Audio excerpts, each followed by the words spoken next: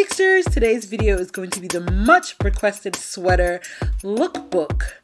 If you like this video and you're not subscribed, subscribe below for more lookbooks and outfit inspo.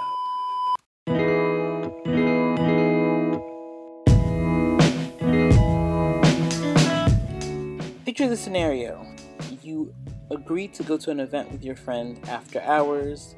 It's cold. All you want to do is be under the covers. You don't want to go anywhere.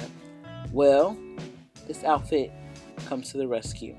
It's literally a pair of jeans, a chunky sweater, a moto jacket, and some pumps. The star of the show is definitely this yellow moto jacket that I picked up years ago from Eloquii. Um, I'm loving this combination of creams and browns with mustard. It works really well. It was all over the runways for fall and winter, and it's kind of an unexpected combination.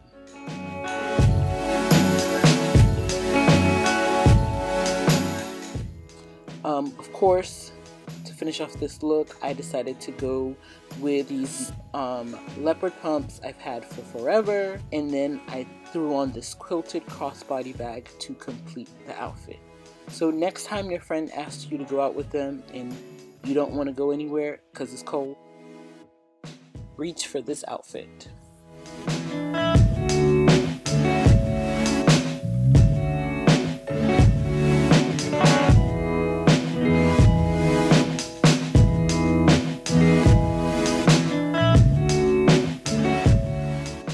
One of the easiest ways to add interest to a monochrome look is to mix textures. Here, the softness of the knit and the shininess of the skirt really balance themselves out. I also love pairing navy and black together. Contrary to popular opinion, they work really, really well together. And the hint of black lace in this navy skirt really ties in the boots to this look.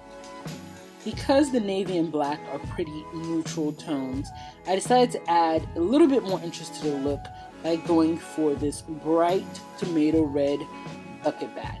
This is the perfect look for a winter date night. Just add a coat. Despite what many may say, you can wear pastels all year round. Some of you may recognize this chunky lilac colored sweater from the spring.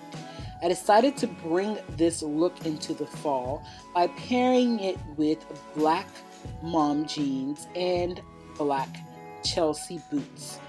This combination sets the base for this look.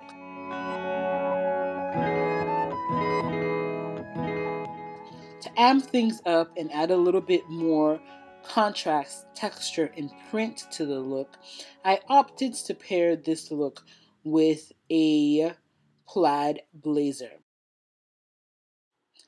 This blazer works because it actually has purple lines going through it. So it ties perfectly in with the lilac color of this sweater. This dress, this blazer also does double duty in that it dresses up and makes this very casual look a little bit more sophisticated.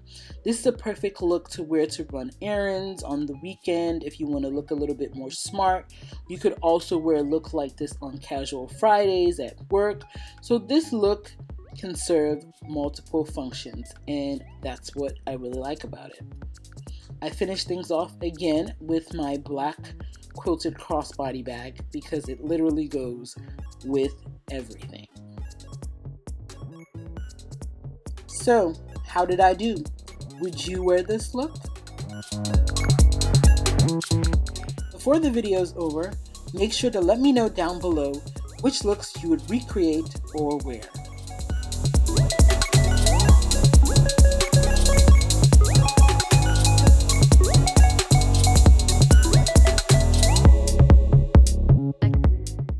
So the star of the show for this look definitely these high-waisted vinyl pants that I picked up a couple of years ago from Target. I love wearing this these pants with knits because as I said two outfits ago, I really like pairing different textures and I love the contrast it creates. The mateness of the sweater versus the shininess or the sheen of the pants just does something for me. So, how do we take this outfit up a notch? I thought, why not throw on a denim jacket? To make the proportions work, I knew I needed a crop jacket, but I knew that a leather jacket would be wouldn't work for this look just because of the pants. Next, I had to figure out what shoes I wanted to wear. I opted again for my leopard pumps, simply because most of the look was solid in color, there was no print, and I thought adding a printed shoe would finish off the look and add the right amount of interest.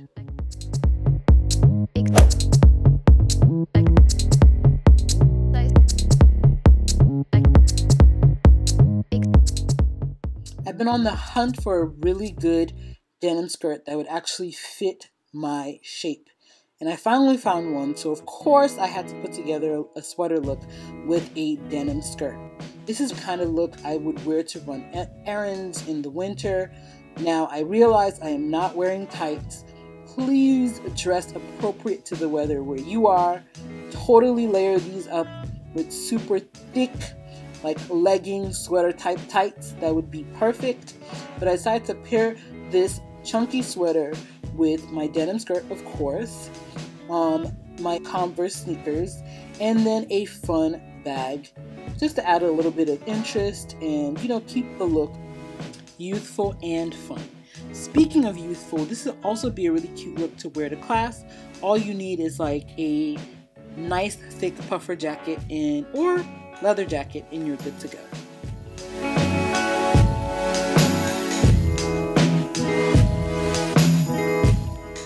So here's a perfect example of how I would style a sweater for work. I dressed up this casual v-neck dolman sweater with these menswear inspired culottes. To keep the workwear vibe, I also paired it with a pair of pumps. I love these pumps because they have these giant bows in front, which kind of adds a, a feminine twist to the look which is totally me because I like how the bows kind of contrast against the menswear feel of the pants. To finish things off, I opted for my quilted crossbody bag. Something about the shape and the structure of the back means that it's also appropriate for office attire.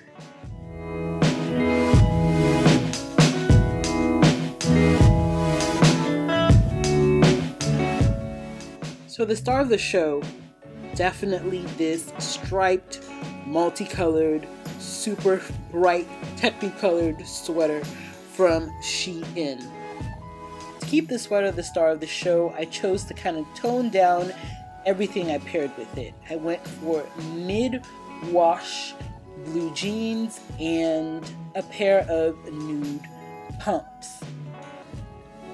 Rather than opting for a neutral colored handbag, which would have also worked in this scenario, I decided to complement the colors in the sweater by pairing the look with this fun furry, mustard color fur bag. How many times can I say fur? the sweater is definitely a conversation starter, so I'd wear something like this to a kickback or just out for drinks with friends. I know, I know, I know. I'm not going anywhere. There's a mad videos for you to check out, okay? Just click on one of them and continue watching.